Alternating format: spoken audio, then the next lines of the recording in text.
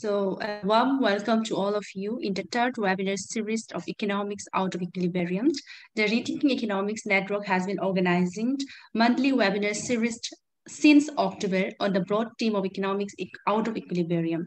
The first webinar series was on COVIDnomics, how to fix unemployment in a crisis, and the second was on the appallingly bad neoclassical economics of climate change. Today, we are going to have an interactive discussion on how to define development from gender, cultural, and indigenous perspective. We have with us Professor Ritu Dewan, who is one uh, who is the Vice President of Indian Society of Labor Economics and a visiting professor at the Institute of Human Development as one of the panelists. And we also have Professor John Clammer, who is teaching at Kyoto University, Japan. And then we have Valeria, who is a PhD student in the University of Salamanca, Spain. We welcome you all, the finalists, and we are delighted to have you with us in this uh, webinar. And the structure for today's webinars will be 10 minutes presentation by each panelist, followed by Q&A of 30 minutes or 20 to 25 minutes. Please get ready with your questions and put them in the chat box. If you find someone asks similar questions than aborted questions in the Q&A box, we will select the most popular questions. And after this webinar, we will be having an informal copy chat. So you are all of you are, are free to join. Now, uh, may I request uh, Professor Ritu to please take her time. Thank you so much for uh, inviting me for this very exciting uh, event. First, I love the name, Rethinking Economics. So many of us also feel that uh, we should subvert economics the way it is being taught and the way it is being implemented today. Uh, also, I really like your emblem, you know, where you have the two halves of the world, one is up and one is down. And that really defines, you know, gender very, very much so. And uh, therefore, you know, one of the main components, not only in development, but in fundamental economics itself, that if you integrate any kind, because first let's remember economics is a social science. It's, it's, it's not an engineering science or a engineering, uh, you know, method that we use. And uh, therefore, when it is a social science, you have to incorporate the study of society, which includes women, which includes indigenous, includes economic, extra-economic, many other kinds of issues. Now, to before we get into the development component, I just want to say that the way economics has been structured historically, and I'm sure all social sciences and even physical sciences, is based on the fact that patriarchy is inbuilt and it does not recognize patriarchy in, in any theoretical manner or empirical or any other conceptual manner, any other kind of place. Because economics is really based on what we call, I mean, that's a fundamental of economics, homo economicus, you know, which is the uh, economic man. And therefore, every definition in economics, whether it's growth or development or welfare or anything which you talk, particularly now, I think after the, in the pandemic situation, that it is fully defined by the monopoly of the male economic being and not only the monopoly, but also masculinity. So therefore in economics, you have these very strange justifications which come out historically and which are there even today. And simple things like, you know, uh, gender-based wage differentials are welfare maximizing for the greater common good, etc. Or you have what is called uh, and for this, a Nobel Prize was given. You know, it was called a no, new home economics. I mean, it's not home economics, it's economics with a gender perspective. And then you had uh, Becker and Schultz, etc., who said that like develop, underdeveloped countries and developed countries have a comparative advantage in specialization. Women historically and biologically have an advantage in reproduction and housework and and this is something which should be maintained. You know so in a way it's reinforcing all the gender inequalities which you have at every single level. And if we want to bring development and from a gender perspective and from any other kind of a perspective into uh, discussion then you're questioning every disciplinary assumption which exists whether it's rationality because there's nothing like a common rationality. Rationality is determined by your location in production, by your location in the economy, by your location in society, and your location in the reproduction of goods and services. So therefore, economics can never be what, what is called, you know, it's, it's supposed to be a big mantra that we must be objective and we must be neutral, but you cannot be neutral in a non-neutral world. So when we talk about development, we are very, very clearly, we have to be partisan. We have to take the part of those who are underdeveloped, those who are vulnerable, those who are marginalized, and those who are off the page of development. It, this it, uh, functions in, in all sectors because patriarchy exists everywhere. It exists in production, in consumption, in community management, I mean, forest and public spaces, etc., common property resources, which are so very essential. And uh, I just want to give two or three examples of the work which I've been doing. One is that the inequality which exists even in the fiscal architecture, that is in taxation. So you have this really, I, I don't know what uh, kind, what insane or inapplicable or I don't, really don't know what term to use, that up to the 1993 period, early 1990s, in France, in Netherlands, in UK, in Ireland, in Africa, in US, in many, many other countries, a woman was not allowed to file her income tax as an independent agent. It had to be compulsory joint fi uh, uh, filing of even income tax returns with a husband. And what, it, it, it, it was something which was really, it, it needed a movement to be able to say that a woman is not only independent economically, but also independent as a tax paying agent, something which is so very simple. So also where uh, monetary policies are concerned. So of course you have SHGs and self-help groups, etc., to say that yes, because the state seems to have absolved responsibility of providing employment to its people. So therefore you have a focus on growth and you don't have a focus on development. And therefore you have a very strange kind of a situation where a little bit of money is given to women in particular. You form your self-help groups and you look after your own livelihood, your own employment and your own welfare.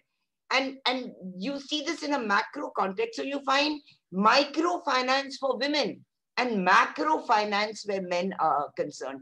Now, I'm not making this a man versus women issue because that's really not the, I mean, that's, that's totally understood that that's not the point at all. Because when we uh, talk about, you know, a simple question which I always ask when I teach uh, gender issues or teach economics, what is the opposite of patriarchy? And I normally get the response that the opposite of patriarchy is matriarchy but I say, no, the opposite of patriarchy is equality. And this is particularly in the fact of the fact that all women, like all men, are not homogeneous. You have tribes, you have Adivasis, you have what we call the lower castes in uh, India. And therefore, you have to perceive the entire context of development in a very specific kind of a manner and in a very broad kind of a manner, which is not only inclusive but it recognizes people's agency, particularly the agency of women. There are many other examples which uh, one can give where, um, you, you know, gender exists everywhere, patriarchy exists everywhere. It's whether you recognize it or don't recognize it is, is I think, our shortcoming. So I was doing this study on roads, and the general reaction was that how can roads, roads of course lead to development, etc. But don't forget, they also lead to exploitation, particularly where the tribals are concerned or those who depend on common property resources. The road, where it goes, how it goes, how it is used by different genders is, is, is, is a, something I think which really needs to be visibilized. The way women use roads, they use it less often. They, uh, their travel purposes are different because their role in society is different. So it's not as if they only use it to go to work and come back. It's also picking up children from creches, from, um, you know, from uh, uh, collecting firewood and collecting water. So you, and also they travel very short distances. So it's, it's like as if you're the horizon of women is narrow and therefore their mobility, which is of course constrained by various other security factors, etc., is also very limited. So really, when we talk about development, we, I think we just have to turn the current economics on its head and uh, see it from a totally different uh, perspective. I don't know if I have any more time, but I can see Apilang. So is that it? Yeah? Okay. Thank Do you so much. More? No, it's okay. We'll get into it in the discussion. Yeah. Okay. All right. Thank Thanks. you so much, Prof. Thank yeah. You. Thank you so much, Ritu. I think that was a very insightful um, lecture. I mean, you have given in a short time period of 10 minutes. I definitely would agree that um, patriarchy is inhabit in the economic theories historically and the way you put up the how roads are being used and how road can be used and it can exploit also and how women are using it i think that's a very insightful. And some i really find that um, your mention about women uh, inequality exists even in fiscal policies we're not allowed to file income tax independently. I that's a that's a very shocking for me, and I was not aware of it. Thank you so much for that. Yeah. Now, may I request uh, Professor John to please take his time.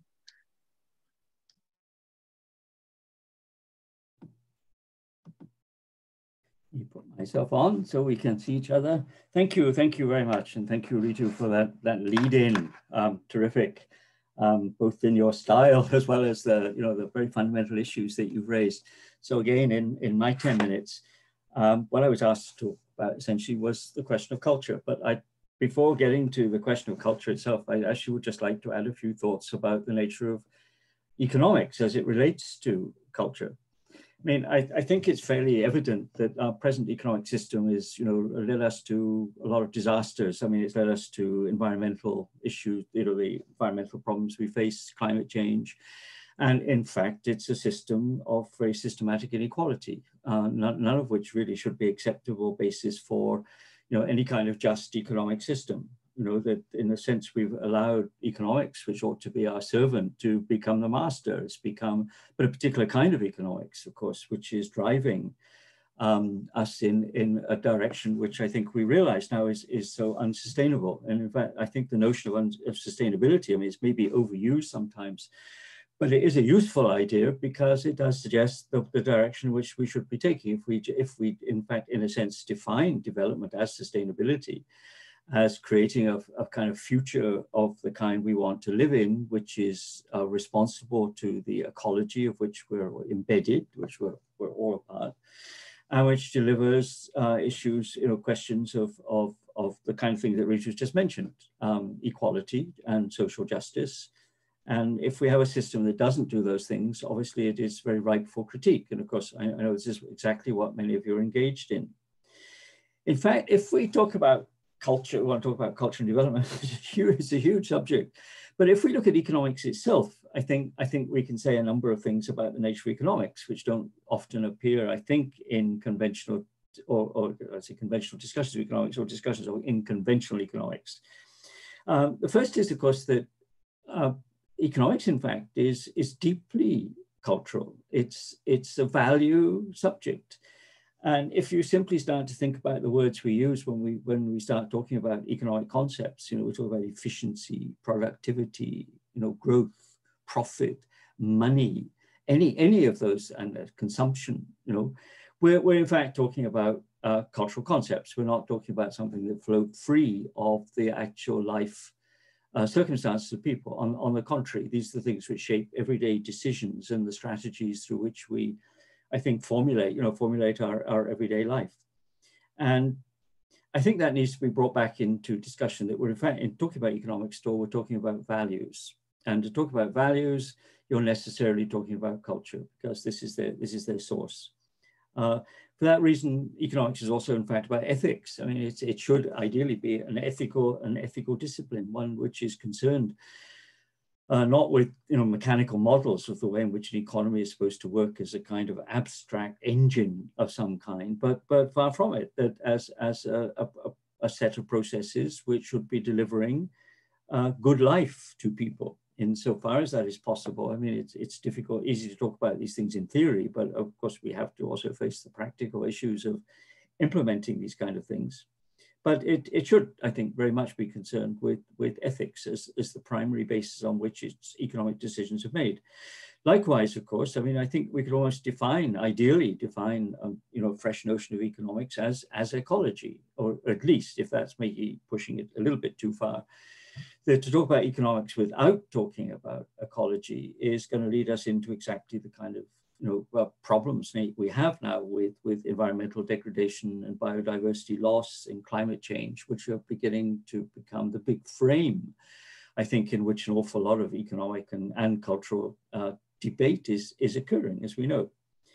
Um, but I think I think there's another dimension to this question of culture as, as well. It happens just happened so happened that just this last week, Wednesday of last week, seems to be my day for participating in these interesting discussions. I was part of a webinar that was being run from India, from, from Mumbai, by uh, an art foundation. Uh, Ritu may know the art foundation called MARG, M-A-R-G, which is a publisher of a, a very lovely uh, art magazine. It's and a, publisher of major books and um, monographs on, on art, primarily in relation to India. Okay, and the title of that seminar was The Economics of Nurturance and Cultural Well-Being. And I like that title. That's what attracted me to it, The Economics of Nurturance and Cultural Well-Being. And I thought it was extremely interesting that an art organization had taken up such an issue. And it attracted me particularly because over the last several years, I've written extensively on the relationship between art and development, subject which has been occluded to a great extent, it's been left out. And in fact, when, and if you look at many of the, the existing books that have titles like culture and development, they often treat culture itself as a highly abstract idea, not, not in terms of what we actually do, you know, what we perform, you know, how we fill up our, our lives and in things which may seem a bit trivial at first sight, but are not, such as entertainment, you know, how we, how we fill our time with, in fact, cultural activities. So to separate this from a notion of development seems to me to be fundamentally unworkable. Any notion of development has, by I, I, from my point of view at least, essentially to take into uh, not not just as sort of byproduct. I mean, I, am sure you know Ritu would know this. You know, the old days in which you had sort of you added you know gender to development. It was like a sort of little plus thing you added, you know, as a kind of footnote. That that doesn't work you know, if it's not embedded as the central issue, it, it, it, it doesn't work at all. And I think the same is true of the notion of culture, in, including our, indeed, our cultural practices, like, like the arts in their various, you know, various manifestations. Because inevitably, I think, you know, once we start to talk about development, we're pushed always into these kind of definitional issues, but, but they are important. You know, what, what do we mean? What do we want by this process? More stuff, you know, getting growth, um, or do we in fact want a process which is going to lead to a more satisfying life um, that's ecologically responsible and which is also one which expresses ideas of, of justice. Again, the point I think that Ritu is implicitly raised, you know, without that, without that, those notions of equality, you're building, a, you know, kind of civilization which is based on exploitation of some people by others. And in the long run, obviously that, that really doesn't work at all. So I think in a way, um, one of the, the, key points I want to make is, is the centrality of culture to any notion of development. But as, as a, a notion of value in itself, I mean, I distinguish this slightly. Um, both UNESCO and the UNDP have fairly recently taken out, they published monographs on this. You can, you can find them online if you go to the UNESCO website, uh, the notions of creative industries. Well, what they're pushing is, is legitimate in its own sense, right? Is that, you know, if you're talking about poverty alleviation, for example, people have cultures and many of those cultural forms, their art, their dance, their craft, their theater, uh, what, whatever it is they do or make can in fact be turned into economic resources for people. And that, that's fine. Okay, I mean, that's the kind of pragmatic approach to culture. What I, what I would push for is a more fundamental notion of the embeddedness of culture in any responsible notion of development. Um, you, I don't know if I go as far as to say that development is culture or cultural development should be in fact a fundamental part of, of culture. If you look at most development funding, for example, and, you want to raise money for any kind of cultural project, you're going to have problems. most most most aid agencies get very suspicious if you say I'd, I'd, like to raise some money to you know promote some kind of cultural activity in whatever target uh, society it is um, and, and that I think signals to us the way in which there's also a kind of dominance of, of in fact economistic notions of development which which need fundamentally challenging um, I, I, think Valeria is going to talk about indigenous communities in, in a moment, but I, I, would also just say a word or two about this. Well, I, I, encourage my, encourage them. I can't make them. I make my students read quite widely in anthropology, particularly in the field of economic anthropology. Okay, and I, do this for a number of reasons. One is that you don't need to go to science fiction. You can find real world alternatives where society, small in scale, it's true in many cases, therefore with issues of scaling up and all those kind of things, have in fact created sustainable lifestyles, sustainable cultures, and in which the relationship between culture and that sustainability is, par is paramount. You know, you can't really separate those things from one another. And I think this is true actually not only when you think of indigenous societies, you probably do think of small scale, um, you know, what in India I think is still called tribal societies, right? Um, but it can happen in a much bigger scale. I mean, I'm, I'm in Kyoto, Japan at the moment, and as some of you may know, the, the basically indigenous religion of Japan, which even preceded the advent of Buddhism here, is the religion called Shinto. And Shinto itself has embedded in it very many ideas about, about the nature of environment, of human environment relations, and of relationship between cultural practices and enhancing those things. And little little aspects, as I'll stop in a moment, okay, I promise you, little aspects of this which I find quite quite charming actually show up on, on the weather forecast every night at the moment. The weather, the weather forecasters not only tell us about, you know, the cold front is approaching, tomorrow's temperatures and this kind of stuff, they tell you where to go and see the nice autumn colors because going and viewing the autumn colors is considered a, a, you know culturally desirable thing to do in the spring if you're ever here the same thing will happen with the cherry blossom you know, and I don't think this is just superficial. I think it does reflect the way in which a culture does. In, in that case, a culture I think probably rooted in Shinto does attempt to embed ideas, or positive ideas of, of, of, of ecology or of responsible relationship to nature uh, as a very central part of, of social practice. Let me with just one final point. Often, I mean, when, when I talk to people about economic anthropology, particularly, you know, the question inevitably comes up. People say, yeah, yeah, but how are you going to scale this up? You know, how are you going to, um, you know, turn this into wider thinking about development, development alternatives? Now, we don't have time, but please ask if you want to do this later on. But I would think there are many implications, not only giving us interesting models, but that do in fact link to current debates about alternatives to, to conventional uh, development, including notions like agroecology, where, where more and more people are trying to move back towards an, eco- an environment, uh, uh, sorry, an agricultural system, which uh, does fulfill the basic conditions of sustainability, and, and movements like the movement for solidarity economy, which also in fact raises ideas that are important, I think, because not only do they pose economic alternatives, but they strongly suggest that you can't have an alternative, you can't have a sustainable economy without a sustainable society and culture that goes with it.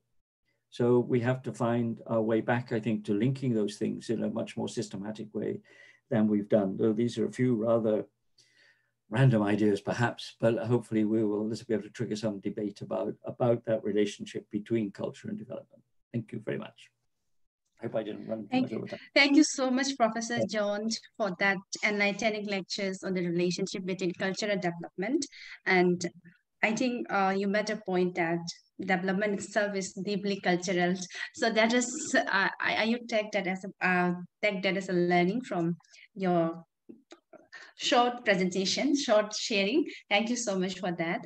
And I, I would agree with you that, um, of course, economics is not just a positive science. It's not a, we need to look at the ethics and its uses as a normative concept. So that's a, that's a, an, an, important point that we have to think about. And the mainstream economics has always, I think, left the cultural issues with the thing of the develop, development.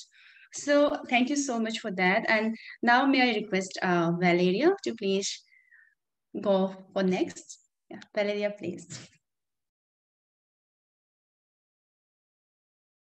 Valeria, please unmute yes. yourself. Yeah. Yeah. no. Uh, hi, everybody. Uh, I want to share some videos with you while I'm developing my presentation in order to show you um, what about I'm going to talk about. So we are tried to share the, the videos. So please wait a minute. Um, here.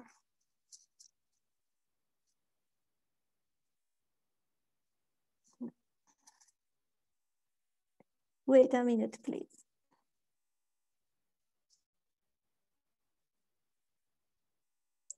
Could you see the video?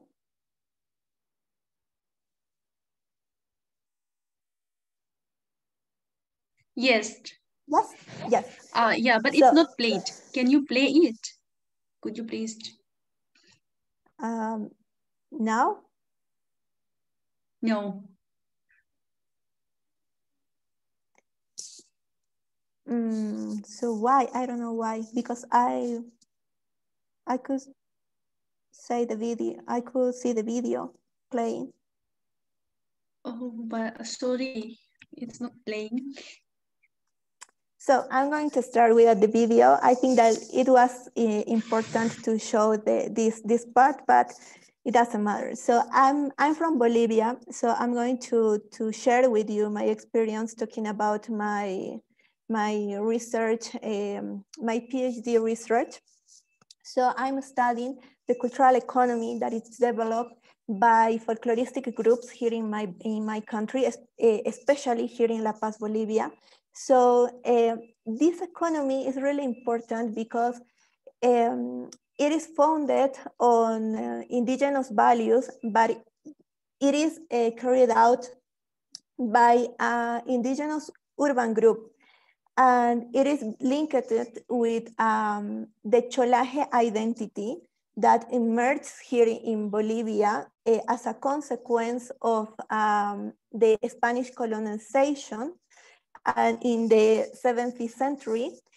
But the interesting of this is that over the time, this social group with an indigenous origin achieves a social position in La Paz society. So they keep their traditions and they keep their customs alive in order to show their culture and keep alive their identity. And here is when the patronal feast comes up because these are uh, cultural expressions that are carried out in order to, to show the faith of this social group to a saint from whom they expect favors. But here uh, emerges an interesting cultural, cultural economy because during this patronal feast, uh, especially during the Gran Poder festivity, um, they spend a lot of money. Why? Because this social group thinks that if they want to show how big is their faith on the Señor del Gran Poder, they have to expend a lot of spend a lot of money um, celebrating this festivity and carried out very, very luxury events. So um, a social, political, and economic system is structured around the patronal feast. And besides, there are strong institutionality inside these patronal feasts. And this system is based on cultural codes such as indigenous rituality, reciprocity, social prestige, and a special system of wealth circulation. Unfortunately, in Bolivia, we don't have a, a statistic data about this social group. So the research that are carried out uh, use just short samples or just a descriptive analysis. This is okay, but we want to start to try to understand that this cultural manifestation is not just folklore, folkloristic and that's all. This uh, cultural expression is developing a powerful cultural economy. And this cultural economy is based on cultural codes that um, keep alive an indigenous heritage that we could find here in La Paz. So what I'm trying to do with my research is try to quantify this cultural economy and try to understand this uh, patronal feast like a generator of a lot of um, in uh, cultural and creative uh, industries. For example, uh, to in order to participate in these events, this social group founded um, folkloric uh, dance clusters named fraternidades, and these fraternidades has more have more or less um, 1,000 members.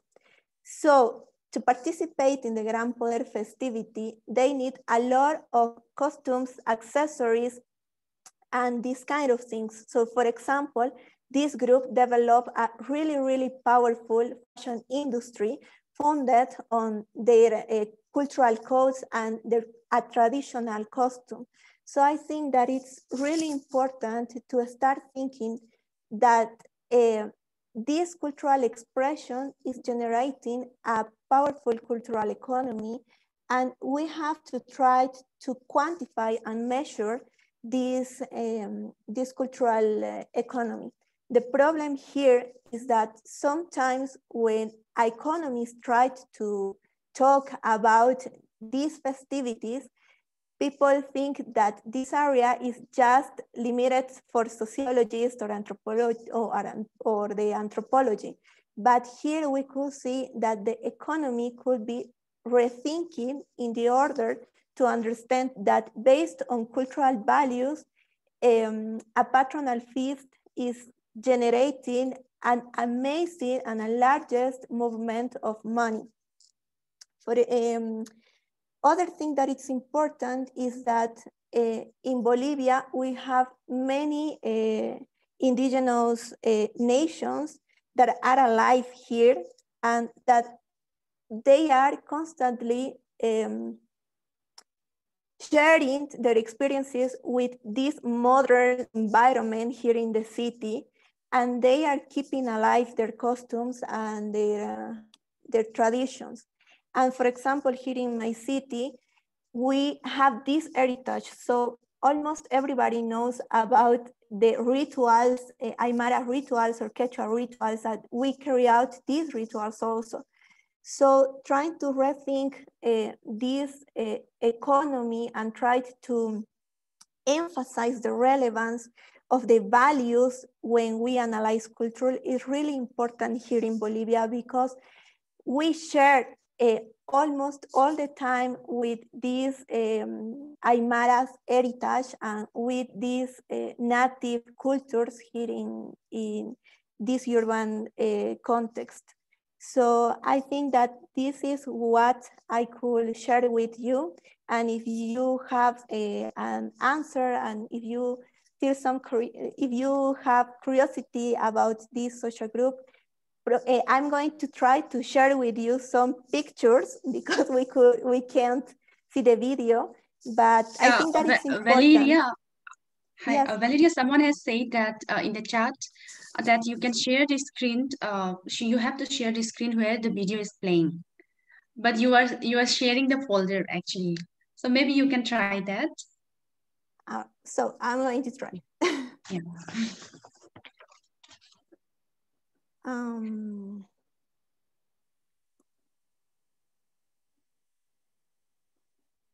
sorry, but I have problems with technology. okay. It's completely so I'm, Yeah. I'm trying. Um, I don't know what happened.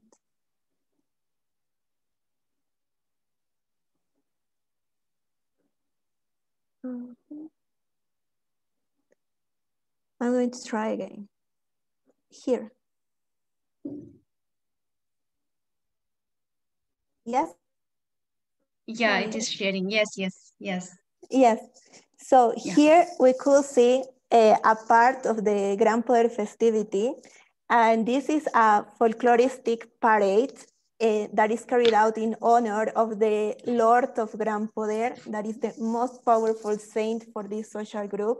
And they believe that uh, this saint uh, have the, has the power to make them um, prosper in terms of economic, uh, in their economy. So this is the Morenada dance and is classified as a, a heavy dance here in Bolivia because it is symbol of a social status uh, in the Cholaje group because if you want to dance morenada, you need a lot of money in order to buy the accessories and the costumes. And we are going to see another part of the video because we are going to, we want to understand what happened here, for example. This festivity is carried out uh, around nine months. The festivity starts in November and finishes with the amazing parade of Gran Poder in May or June. So for example, here we could see um, the previous events of, the, of one of the most important fraternidades that is linked with the um, transporte pesado. So it, it's um, um, the, the members of this fraternidad um, are transporters. And here we could see the cultural codes. Uh, what, you, what you saw is the chaya, and they believe that they have to chayar the people in order to have good luck. And this is the comandante, the person who has the honor to guide the, the, the fraternity, the, the fraternidad. And here we could see the pasantes. They are really important in fraternidades because they are elected annually. And during one year, they have to sponsor the all events of this uh, patronal, of this patronal fest. And for example, uh, last year, um, more than 120 millions of dollars were generated approximately during the Gran Poder, and the 91% of these amounts of money were attributed to the Morenada, uh, to the Morenada uh, fraternidades. So here we could see um, that it's uh, a festivity that it's named um, Recepción Social, and it's a previous event that is carried out uh, in November in order to start uh, with the celebrations and the, pre the preparation of the um, Gran Poder festivity. Here, uh, again, we could see the pasantes. They are, and here we could see that pasantes are really important and they have a security man because they spend a lot of money and finally, I want to share with you a video of the uh, bandas folclóricas here in Bolivia. These bandas have more or less uh, 500 members and they uh, go with the fraternidades around the, um, the patronal feast during the folkloric parade.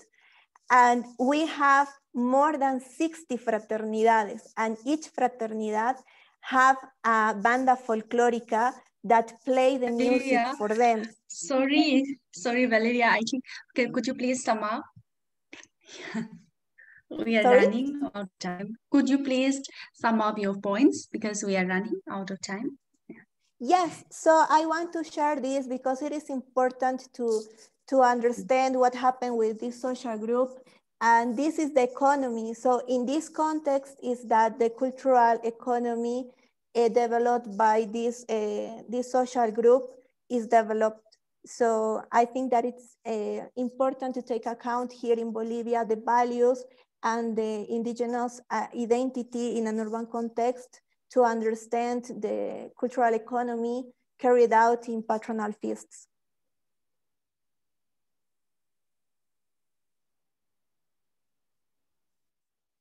Thank you so much. Thank you so much, Valeria. That was thank you for sharing your research on cultural and economics model developed by the Bolivian folkloristic group and its creative and cultural histories. That was a very. So now we to the questions and answers. So we have uh, questions for yeah each So first we will uh, move on uh, move on to the question first. So this question is for Professor Ritu. So I'll read the question. Contribution of women in household caregiving services like rearing children and all age old people in a household is not a accounting system to make this necessary corrections in accounting system. Could you please uh, respond? Would you like to respond to this, Professor Ritu? Yeah, in fact, uh, that is an issue we have taken up for a very long period of time. And um, I think there are several countries, in fact, Japan, I mean, John should tell us about Japan is one country which has taken this, uh, what we call component of unpaid work into account. But, you know, it's not only rearing children, it's, it's also the whole perception. One is children are, let's not see them as children. They are the future workforce. So what the woman is looking after is the future workforce. And that is why you need state support because they, they are part of, uh, you know, the, the economic society in that sense of the term. There is also, of course, uh, so that's the domestic care work, what we say, you know, cooking, cleaning, etc., etc. But there are several other categories of care work which are also not taken into account. And we've had uh, several, you know, uh, representations and the last government did take that. So we had uh, about a decade ago, 2011, and 24, uh, 2004, 5 and uh, 2011, we did get it integrated into the data system. But part of it, not all of it, because one other component which is not taken into account in underdeveloped countries is uh, the time she spends in collecting water. All right, it's and uh, it, that a rural woman spends on an average three and a half hours to go and walk and collect water. The firewood which she has to collect, and all the other activities which she does in terms of homestead and you know growing vegetables looking after a horticulture tree in the house etc etc so there is a lot of labor which has not been incorporated women's labor and also men's labor. In fact i did this study over four or five uh, states in uh, uh, india and uh, i found that if women do you know 70% of women do unpaid uh, work 40% of men also do unpaid work. So I think those are aspects which there was a survey, we made representations over two decades, finally a survey and about 90 districts were selected and the results have just come out about 10 or uh, uh, well 15 days ago maybe but again not officially released this is all leaked data which we keep getting in uh, india so there's a lot uh, more in relation to uh, the unpaid work uh, component. Some of us have been working, four, five of us have produced work on that. If anyone's interested, they can always email me and I can share the studies with them. Yeah. Definitely. Thank you so much, Professor Ritu. Uh, so the next question is for Professor John. Economics, you said that economics... John's video? His video and his sound are both off. economics, uh, Professor John, um, you say that economics is deeply cultural. Could you please elaborate this point? Ah, there he is. Oh. Certainly. Okay, right, certainly. Um, well, let's take two, two, two ways. First, the, the first is that if you want to do a little like kind of, kind of philosophy, is simply to analyze the, the, the terms, the concepts that economics uses in, in its explanatory frameworks, some of which I, I mentioned earlier. I mean, take words like money, efficiency, productivity, you know, consumption, um, or whatever, whatever you like, and begin to examine them. You find out, first of all, that they, they have a history I mean, they've, they've come from somewhere. They've, they've come from some kind of the cultural history of the society in which they, they're embedded. Uh, they're, they're not just abstract terms which describe the world. In fact, there are some interesting economists, uh, alternative economists, who've been even arguing for the idea of, of, of, of economics as what they're calling a virtual science. That is to say, uh, not, not a science which describes the world, but a, a, science which tries to construct the world by convincing us that certain words like productivity, growth, and so on are the models that we should understand the world through. And, and that's con very contestable. So I mean, one, one level is, is therefore to examine um, economic concepts and see the way in which they are in fact embedded in culture. They do, they do reflect values. I mean, a second, a second issue would be, in fact, that I think Valeria's very beautifully just illustrated, right?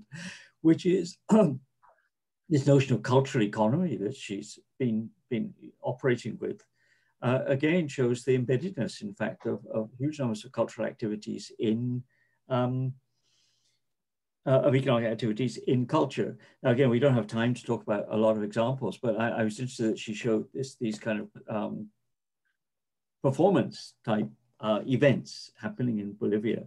And in fact, because this illustrates something very, very interesting that, that conventional econ uh, economists have a huge trouble with, which is the value of art. I mean, if I if I happen to own a, a, a, painting by Picasso, its intrinsic value is almost nothing. I mean, it's maybe a piece of canvas on which some uh, you know middle-aged Spaniard um, daubed some oil paint. It's in terms of the value of the of the materiality of the product, it's almost nothing. Its materiality, its value derives not from its materiality, but from cultural value, which is attached to certain processes, objects, or services that provide. So I think if you take that approach as well, you find immediately that you can't you can't really talk about economics without detaching it from uh, its cultural embeddedness.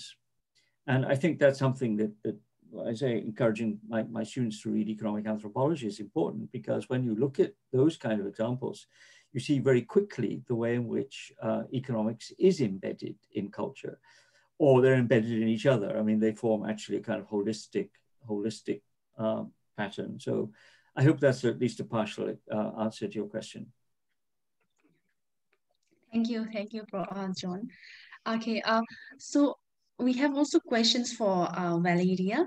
So Valeria, for you is what do you think what uh, what do you think would be the impact of including the economic aspects of large cultural festivities in the conception of value?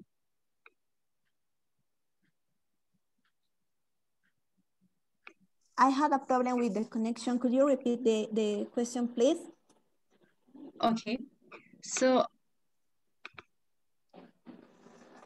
uh, what do you think would be the impact of impact of including the economic aspect of large cultural festivities in the conception of value? I think that it's really important because if we talk about the impact, the, the economic impact of the festivity, now we we have this data in this, this data in Bolivia that more than 120 million of dollars are generated with this uh, folklorist um, event. But here, um, this, this information is um, elaborated by the government of La Paz City, but they commit, they make a mistake because they talk about another indus industries. For example, in these uh, celebrations, the beer is a really important issue uh, so they include the production of beer here in this, in this amount of money. But if we want to, to really know the impact of this um, cultural celebration, we have to focus on the production of the, uh, of the creative and, and cultural industries carried out by this social group. On the other way, I think that it's really important to, to include the values in the analysis because in Bolivia, we don't have statistic data about this social group because they are not identifying as a special social group here in the society. We say, yes, uh, there are many people who dance morenada and who participate in, in this patronal feast, but until today, we don't, that, we don't have information to say, okay, we have this patronal festivity and we know that there are, I don't know, 2 million of people who dance here because we can't um, characterize them uh, according to these values, these cultural values. So we are commit, commit me a mistake because we are not including the values in order to characterize uh, the the actors of a cultural economy. So that's why we don't have that statistic and we don't have empirical studies about this cultural economy and we are not measuring correctly the impact of the values and the impact of the of the economic activity of these festivities. Okay, thank you, Valeria. So uh, this question is for all the finalists, whoever wants to respond. So given that we know the desirable state of equal ethical and ecological development and economics, what are the biggest barriers to reach to that uh, to reach that state? Professor Ritu, would you like to respond? very difficult uh, question, very fundamental uh, question. And uh, it's like, uh, uh, in a way, what I called, um, you know, there are terms which John also used, these words like profit and growth, etc., etc. So, and what I, in fact, that's your fundamental purpose, to think of rethinking economics.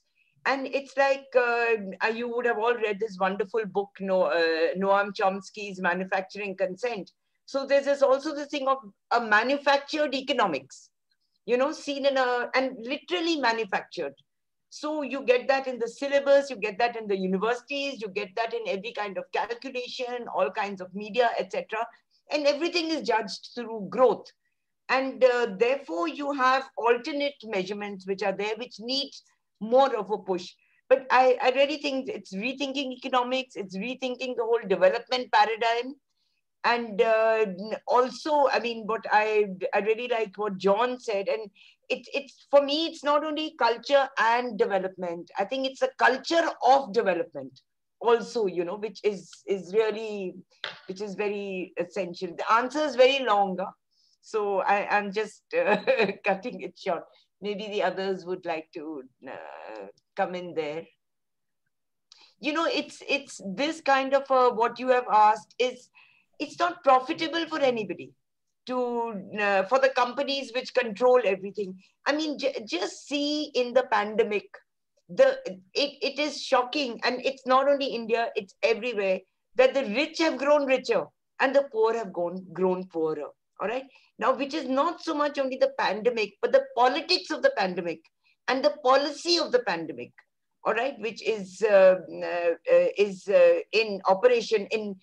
I mean, in our country, I can say that the policy or the lack of policy response to uh, the pandemic is what has created many more problems than the pandemic itself. And uh, so, therefore, when you know, when you talk about an economics that's equal, it also has to be egalitarian it also has to be, of course, the ecology component, the ethical component, and also empathy. I think there is just no empathy for those who are marginalized and those who are visibilized. And, and this is like when I've been working for migrant workers during this period, and they, they, they put it very simply. They said, we are not required Indians. You know, there's so much unemployment. So if a few thousand of us die, it doesn't bother anybody. In fact, right now, there's this huge demonstration of farmers which is going on in Delhi, which is freezing cold. And what the state is doing, what the police are doing, is throwing water on them in this freezing cold. There's no compassion, there's no humanity. And I think that is really what defines economics and what we have to get back into economics.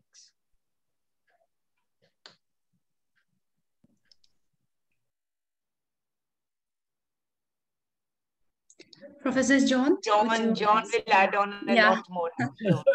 okay, well, I, I, my, my, my answer would be very short. It's very simple. Okay, what are the barriers? I think there are two barriers, okay? One is the business as usual thinking. You know, that is to say that even, even you know, a lot of us are now thinking about, you know, post-pandemic futures, what, what, what creative things may come out of this. I think I think the large forces that we'll have to face are in fact the, the, the pressures to go simply back to what was there before in economic terms, you know, reestablish the, the old stuff, the old way of thinking. And that, that would be very, very dangerous. So if, if this is, if the pandemic is a kind of portal to fresh thinking, I think the first thing we have to confront very much is, is or to oppose, in fact, is the return to, to business as usual. The other thing is, I think, thinking as usual okay, that's it. But I, I'm what is I think very creative about uh, you know the discussion we're having now is is the, the, the fact that not everybody is thinking as usual. Uh, the question will be, I think, how to translate that not thinking as usual, that real thinking about alternatives into into practice. That won't be easy, but I, I think I think it is the challenge that comes out of, of the kind of debate we're having tonight. So that's my very short answer.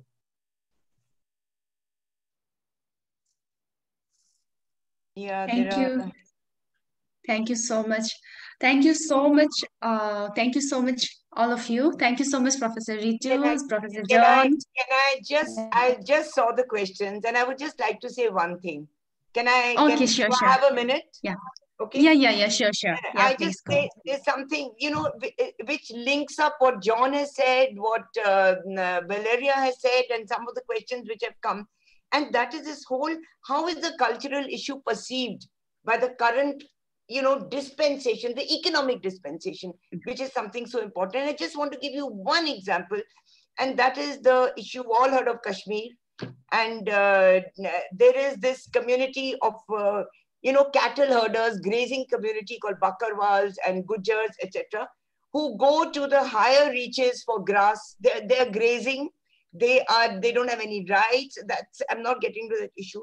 But what they do they live uh, at the ground level and then they go up to get the grass. They go up to the hills to the himalayas to the mountains. And there they make mud houses to live in which they leave open for 6 months of the year. Nobody enters nobody breaks nobody steals anything. That's a culture which exists for a very long and a very sustainable culture which exists for a very long period of time and now what is being done in the last four days is that in the name of encroachment, this is their own land. This is public public uh, land, you know, what we call uh, the public common property resources. And this is the right of everybody, including nomads. These are nomads who are there, that their houses are being broken. So which means economically you're out, culturally you're totally out, and in in any kind of a you know ethical or whatever manner there are several questions but they can also be emailed at some point of time. Thank you so much. Thank you. Valeria would you like to say any final comment on the questions? Would you like to add? No uh, thank you. It was a pleasure to share with you and it was an honor to share with the professors this virtual space. So i think that I could here I could read some some answers, so I'm going to tr to try to to answer all the questions about these festivities, and it was really nice to share with you mm, Bolivian culture. so thanks. Thank you so much, uh, Professor Ritu, Professor John, and Valeria for sparing your time for us.